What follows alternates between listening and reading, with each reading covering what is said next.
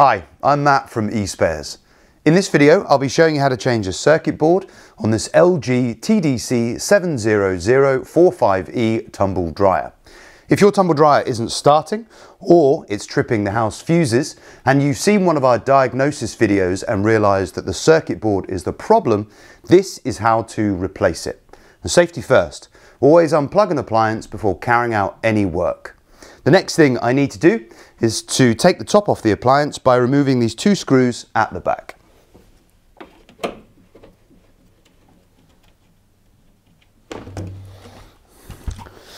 Now with the top off, the next thing we need to do is to remove the water container and undo this screw here, which holds the control panel into place.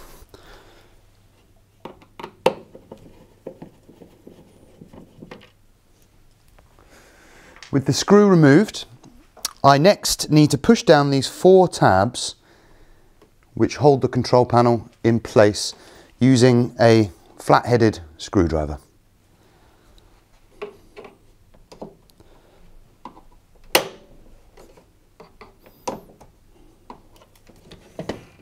And here we can see the circuit board and all the electrical connectors. All the electrical connectors on this circuit board are color coded and they can only go back in the one position. If you're doing this repair on a different machine, it may be worth taking a photograph of the electrical setup to remind yourself of where these go back.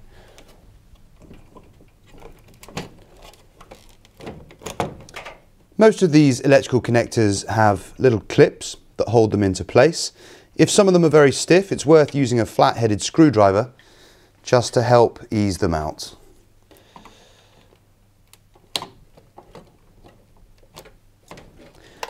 Once you've disconnected all the electrical connectors, place the control board and circuit board on a flat surface. Next, I need to separate the circuit board from the control panel by undoing these six cross-headed screws.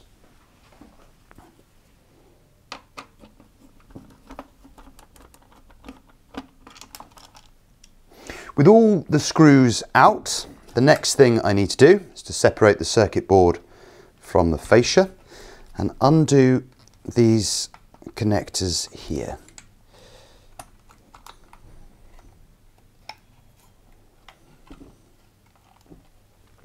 With those two clips released, the next thing I need to do is to remove the circuit board from the surround. And I do that by gently easing the circuit board out of the surround using a flat-headed screwdriver. And it's held into place by these tabs here. It doesn't matter too much if they break because the new circuit board comes with the surround, but make sure that you're not breaking the circuit board itself.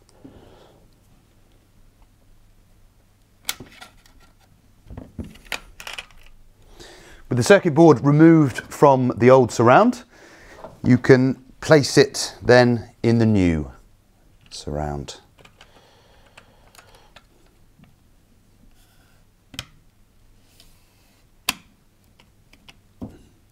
Now it's just a case of reconnecting the connectors.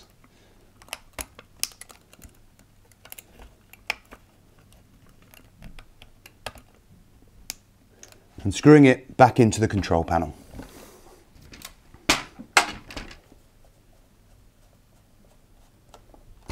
With the circuit board now screwed into the control panel, I can reattach it to the machine.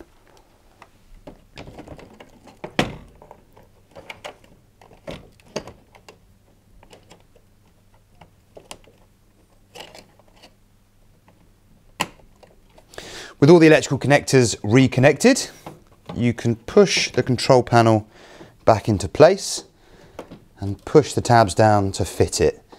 Again, use a flat-headed screwdriver if necessary.